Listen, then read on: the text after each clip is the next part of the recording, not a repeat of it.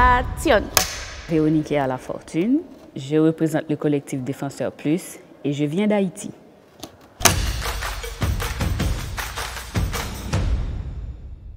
Haïti fait face depuis euh, près de deux ans à une situation de crise politique sans précédent. Donc, euh, avec cette situation d'insécurité, les femmes sont euh, plus souvent des victimes directes. Des femmes, les, petites filles, les enfants sont plus souvent directement touchés. Donc, avec cette situation d'insécurité, les femmes font leurs activités économiques moins.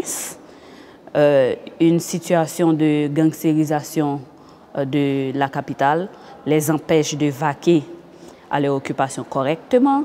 Des euh, villes sont totalement bloquées.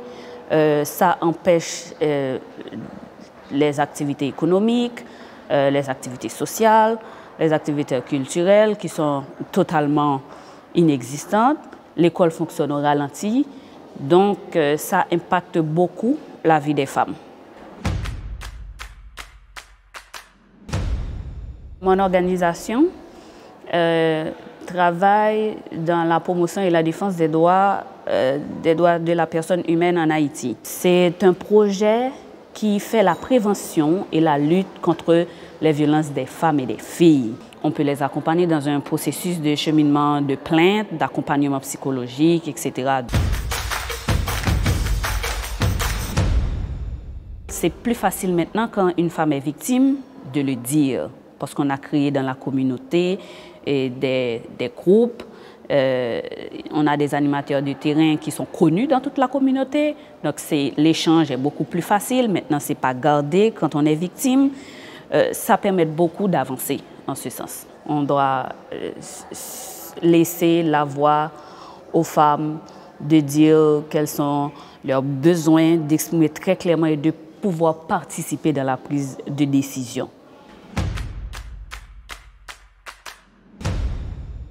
Laisser à la femme de décider ce qui est bon pour elle.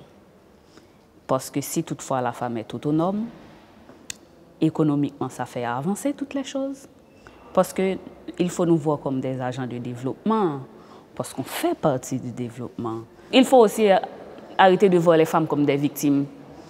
On peut aussi être des décideurs, des dirigeants, des responsables.